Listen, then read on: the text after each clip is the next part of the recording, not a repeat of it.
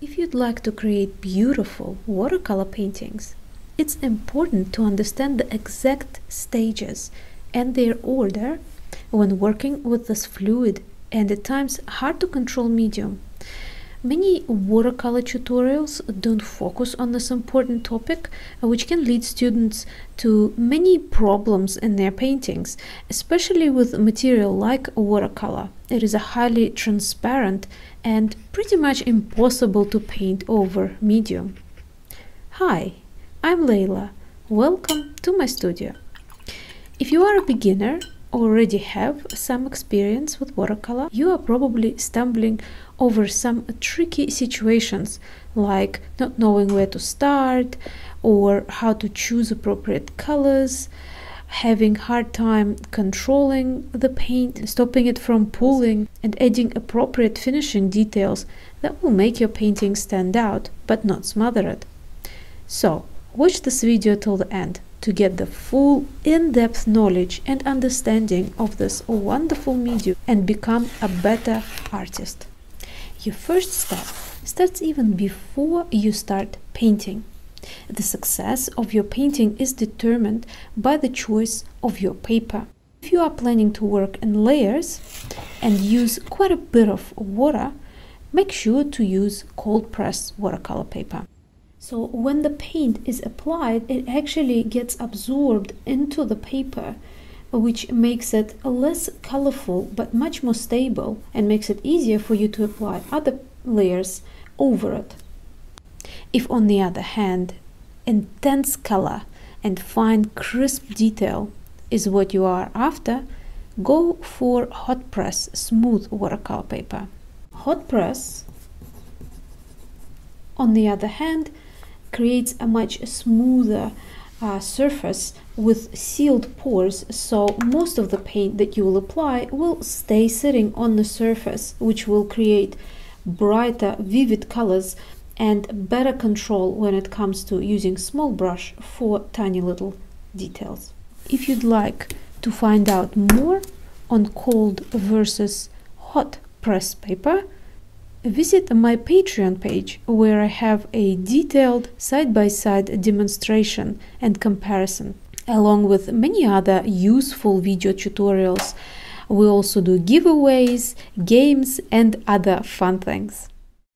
Another important point is to choose a suitable image or a subject matter. Leave dark colored, fully submerged in shadow subject matters to oils and acrylics. Watercolor loves light-filled subjects. Both bright and monochrome will work well. Watercolor is translucent and luminous, so play up its strengths rather than battle with thick layers, which it's not really designed for and will end up looking patchy and immature. Learning and experimentation is the key uh, to achieving better results, uh, which brings me to this video's sponsor. Thank you Southern New Hampshire University for sponsoring this video. I know many of you watch my videos to learn, but art is the only thing I can help you with really. So if you feel that there is a lack of experience in other fields that may be holding you back in life or your career, you might like to check out SNHU's website.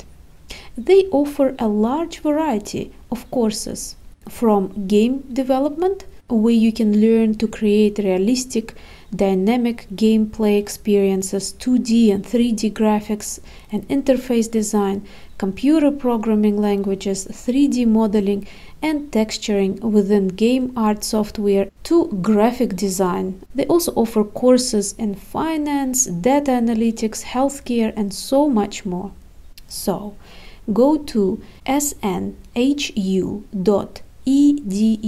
slash ATAYA clickable link available in the description under this video to see what the current average annual salary for the courses are and you can request free information about the programs. Create an appropriate sketch before you start painting. You can even create a preliminary study on a separate piece of paper or your sketchbook Paying attention to shadow and light can really help when approaching a new subject matter, as you will know exactly where the main shadows and highlights will be situated.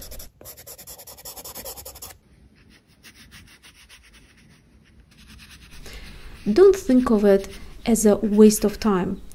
It's a warm up before the main event.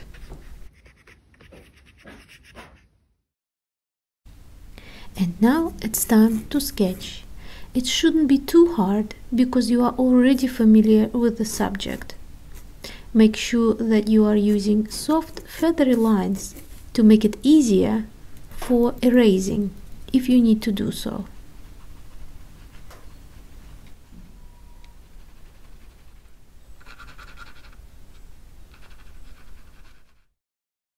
Next step is water. Moisten the paper. You can use a large brush, sponge, or even a cloth. Do it even if you are not planning to create water-filled washes. Wait for a few minutes for the paper to absorb the water and start painting. It will improve the smoothness and help with paint application. It will also allow you more time to play with the paint on the surface of the paper, minimizing patchiness and irregularities. Next step is actually choosing the colors to start with. And I would suggest to start working with the lightest colors. Remember, watercolor is very translucent, so it's easier to apply another dark layer over the light compared to making a darker color lighter. I find that many of my students who are used to working with acrylics or oils find it the most difficult part of watercolor painting. As a rule, try using cooler colors for shadows and background and warmer colors for foreground and sunlit spots.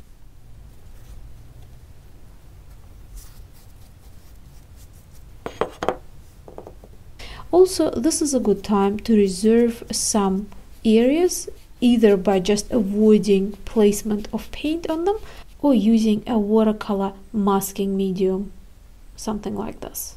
Remember, watercolor has a tendency to dry much lighter, so keep that in mind when applying layers of your paint.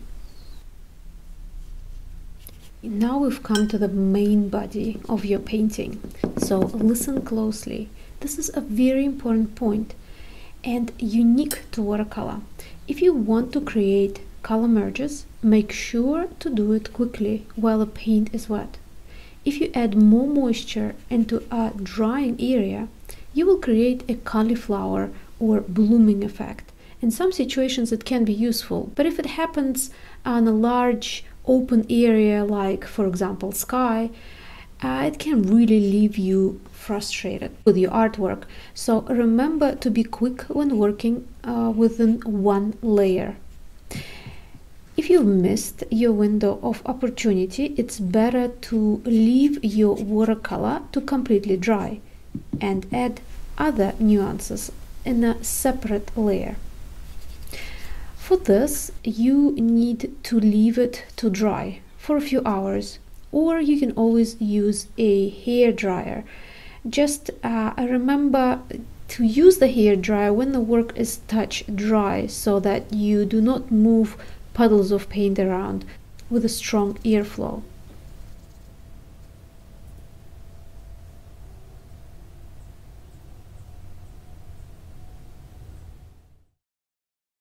While creating your layers or working wet on wet, use correct additives like granulation medium, salt or masking fluid. I have some really interesting in-depth videos on those techniques here on YouTube, so make sure to check them out after this video.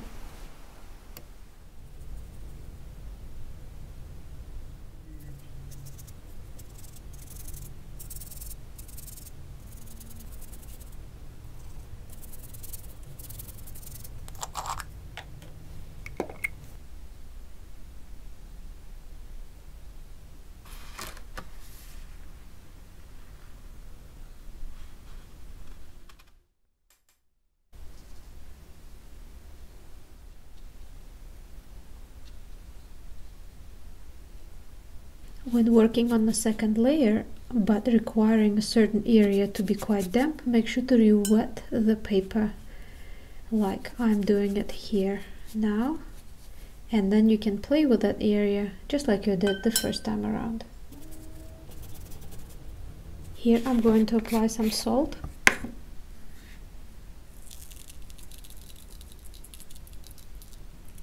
to create extra texture.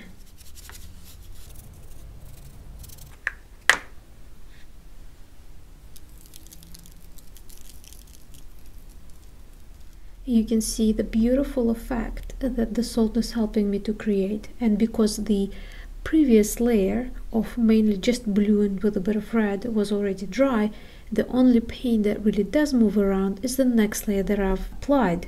So that way you get the exposure of the color underneath with this really beautiful multicolored effect. All thanks to the wonderful table salt. Same thing right here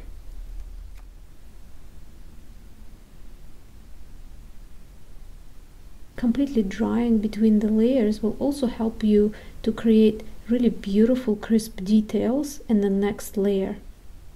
So that way you can avoid any kind of spills or runs into the areas that where you don't want your paint to run into. Scrape off all the salt if that's what you were using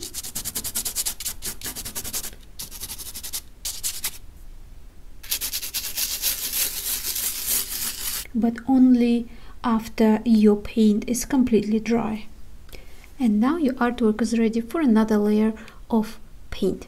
When it's time to go over the final layer and bring out all the details that you want to bring out, there are a few tips that I'd like to give you.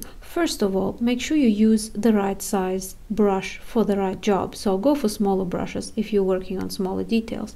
Another important thing is to not go around and outline every single thing because that is the surest way to get everything looking as flat and as cartoony as possible. Again, if this is what you're going for, great. But if you're going for a realistic effect, it can be a little bit problematic. So, the idea is to bring out details only in certain areas, and these areas can be foreground and areas of high attention. So areas that you want the viewer to look at. These are the parts that on the painting that you need to focus on. This is a good time to use quite dark or contrasty colors um, and paint that is a little bit denser. Still watery because it is watercolor, but just a little bit denser.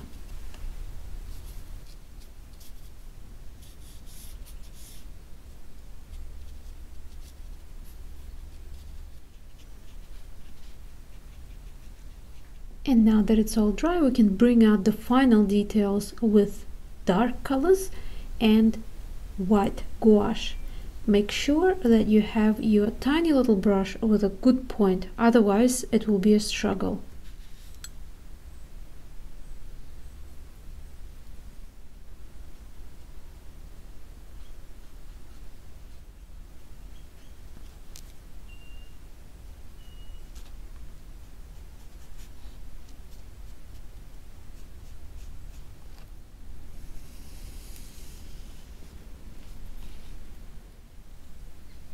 And now to sum up details and finishing touches.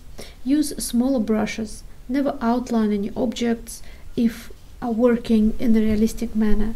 Don't add details throughout the whole painting. Focus on the focal point of your composition or foreground. Otherwise, your painting can look flat. Having said that, if you are working in a style that calls for it, like manga or folk painting, this rule would not apply. This is also a good time when you can use other materials like watercolor pencils or white gouache or pen to add some more highlights. We'll fix up some areas where you went too dark in the previous layers. And he, in here you can bring in watercolor pastels watercolor pencils and add extra texture if you'd like to. You don't have to. This is completely optional. You can just use pure watercolor, but sometimes I find it can be quite interesting to add just a little bit of something else.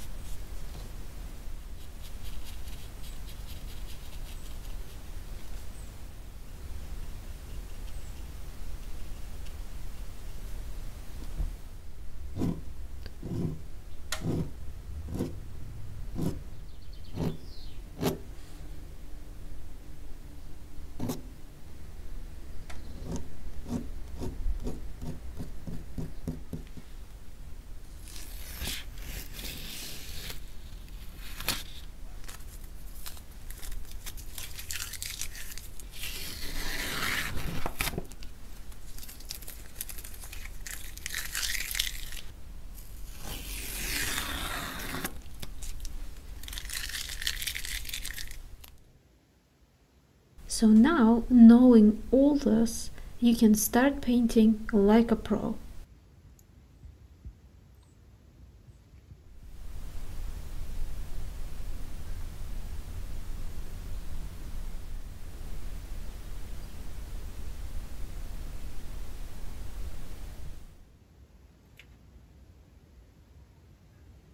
Thanks to SNHU for sponsoring this video.